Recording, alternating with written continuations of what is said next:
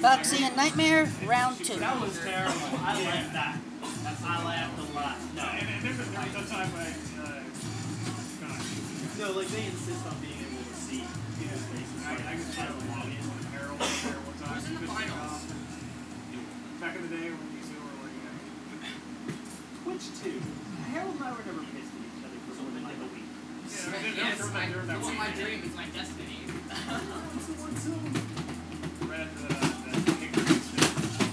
Shake it up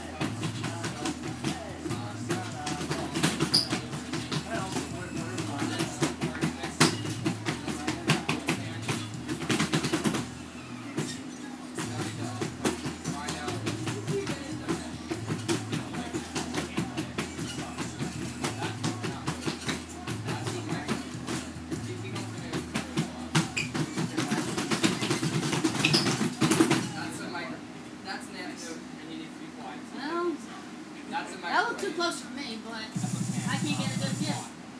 Okay. Yeah. That's, We have a tiebreaker. that's a fan. Let's see what happens.